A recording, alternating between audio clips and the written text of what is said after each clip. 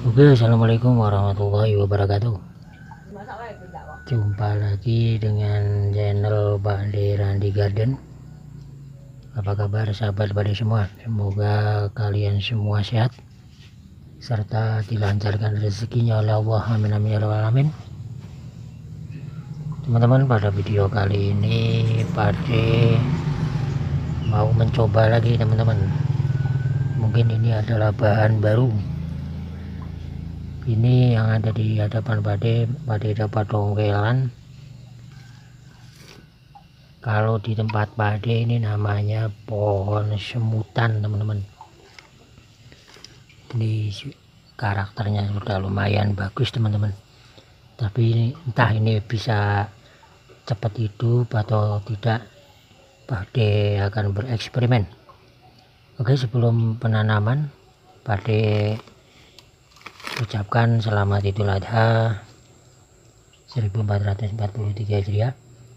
Semoga korban kita baik tenaga, pikiran, apalagi yang bisa berkorban dengan hewan kurban dapat diterima di sisi Allah. Amin amin ya robbal alamin.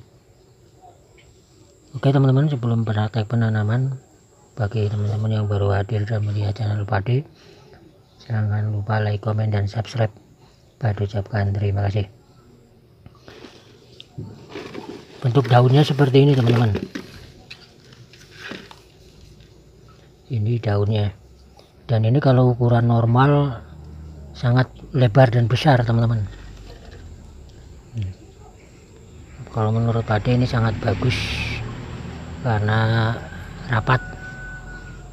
Dan motif daunnya itu sisi kanan dan kiri sejajar teman-teman. Dan dia juga memiliki buah. Seperti ini teman-teman. Buahnya berwarna putih jingga teman-teman.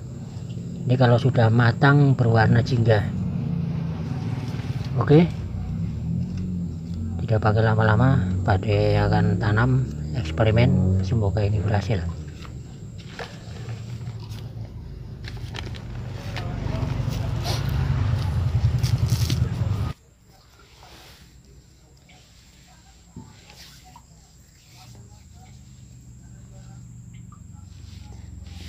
Oke teman-teman ini sudah selesai.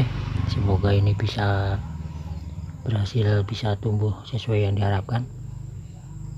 Menjadi bonsai baru yaitu bonsai pohon semutan teman-teman. Sekian dulu. Semoga ini menginspirasi dan bermanfaat. Wassalamualaikum warahmatullahi wabarakatuh